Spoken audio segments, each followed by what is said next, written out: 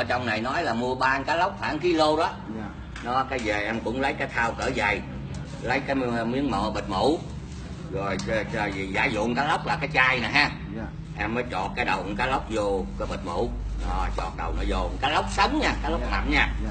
Nó cái con đầu tiên á thì em phát vô miếng nước. Đặng nó ướt ướt cái đầu không phát cũng được Dạ. mà phát nó dễ làm hơn. Phát miếng nước rồi ướt ướt đặng mình dễ xay ra không gì hết. Dạ. Rồi đây đeo để vô cái thao nắm cái này cái cái tay này nắm cái mịn cá chịu còn cái tay nắm cái đầu. Là coi chú ý cái tay nắm cái đầu ha. Dạ. Em cứ xoay xoay qua xoay lại xoay qua xoay lại xoay qua vậy nè. Dạ. Nó xoay chừng năm sáu cái á, là thấy bọt trắng trắng nó trào ra rồi đó. Tại cá nó ngợp á Dạ. nó ọc ra.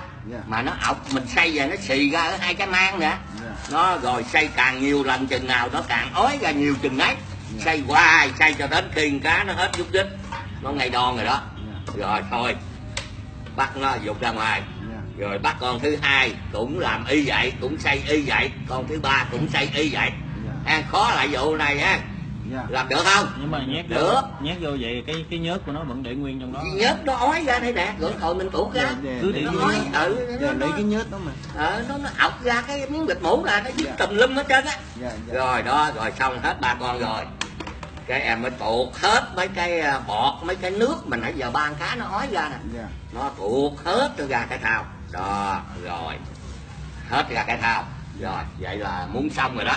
Dạ. Khó là cái này. Dạ. Làm được không? Được ạ. Cứ xây hoài xây hoài vậy nè. Dạ dạ dạ. Đó rồi công việc thứ hai là trồng trắng hột gà. Nếu à, ra chợ mà chắc ra chợ mua chứ gà ở ngoài chắc không có nuôi gà đâu. Ra chợ à, mua thì ba trồng trắng được rồi gà công nghiệp ba ba trồng trắng. Ở trong đó có cũng có ghi. Vâng. à, lấy ba cái cái trồng trắng hột gà để chung với nhớt. Rồi hai rồi ha nhớt với trồng trắng. Vâng. rồi công việc thứ ba là rau chai dạ. Rau chai biết không? Rau thay lại ở rau thài lai đúng rồi. Cái người bác gọi là thài lai. Dạ, rau đó thì dễ kiếm. Dạ. Dễ kiếm còn cái rau lá xoài đó cái rau đó mới khó kiếm đó. Xoài đất. À, còn gọi là xoài đất gì đó thì một hồi chú cho dạ. Con lấy 7 lần chú cho đủ 7 lần luôn. Dạ. Nó cái con về con mới đâm cho nó nát hết cái con để vô bảy cái bọc muỗng á. Cái con quăng lôi vô tủ đá. Dạ. Rồi thí dụ mai làm cái nó thành nước đá rồi dạ. thì con lấy ra đặng nó tan ra. Dạ. Ha? Dạ. Còn thầy lai thì đi gắn đi kiếm. Dạ. Rồi thầy lai với rau chai đó em ờ, ra thòi lì xài đó em đâm cho nó nát hết đâm nhuyễn hết để chung vô luôn nghĩa là trong thao mình là nhớt trồng trắng rau ba thứ rồi ha. Trộn cho đều. Rồi cuối cùng con mới em mới sổ hết cái bịch thuốc này vô. Đó rồi sổ hết thuốc vô rồi cũng trộn qua trộn lại cho nó đều. Nè cho cái cục thuốc nó vẽ cứng xuống. Rồi như vậy là làm thuốc xong rồi đó. Ha làm được không? Dạ được. Được đó rồi giờ bó nè.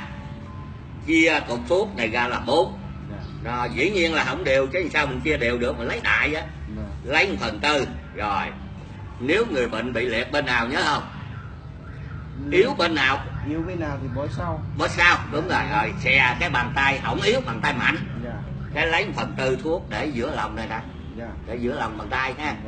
Rồi cái băng cục này cắt ra làm hai nha. Dạ. Cắt ra làm hai lấy nửa cuồng để qua đây cái quấn vòng vòng vòng. Nó có cái móc cái móc lại một chỗ rồi lấy tiếp phần tư để dưới gan bàn chân. Đó, bàn chân mạnh luôn. Đó, để giữa lòng nè. Đó, rồi lấy cái băng bự này cũng cắt ra làm hai quấn lại. Rồi lấy tiếp phần tư để bên tay yếu. Đây quấn lại và cuối cùng để chân yếu quấn lại. Rồi vậy là xong. Nó thì bó bữa nay ngày mai mới gỡ. Sau 24 tiếng. Rồi đúng một tuần sau mới bó lại chứ ờ, gỡ rồi bó liền là không được. Ha ở trong này có ghi hết trơn à? Dạ có. Ờ đây nè.